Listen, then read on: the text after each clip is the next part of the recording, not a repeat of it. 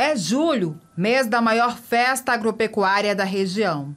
Evento que atrai diferentes públicos, entre eles católicos e evangélicos. Afinal de contas, entre as atrações está Clayton Queiroz, uma das vozes mais fortes do momento quando se trata de ritmo gospel. A noite de adoração aqui no Parque de Exposições está agendada para o dia 5 e a entrada para assistir o show gospel será um quilo de alimento não perecível. E quem fala com nossa equipe de reportagem sobre este assunto é Leia Jance, produtora e coordenadora oficial da Noite Gospel. A gente está trazendo esse ano o Cleiton Queiroz, né? é um cantor deficiente visual.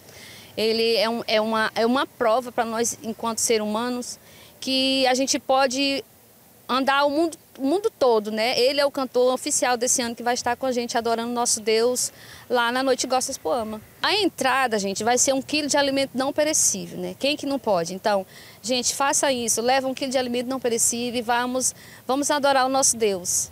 Esse alimento depois ele será destinado às pessoas carentes. Né? Sim, com certeza a gente vai estar é, destinado a pessoas carentes, a ONGs, né? A gente vai estar fazendo isso depois do evento, distribuindo para as pessoas que realmente precisam.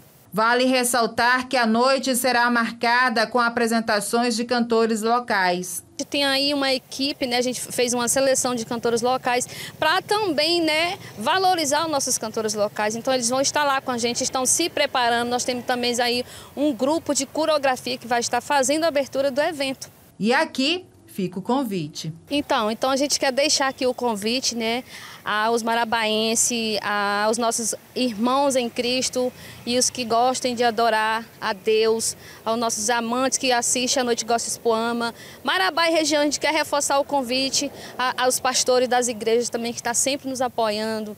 E deixar a gratidão né, à imprensa que está sempre nos apoiando, dando aquele apoio, divulgando. E a gente queria reforçar o convite para você estar lá com a gente dia 5.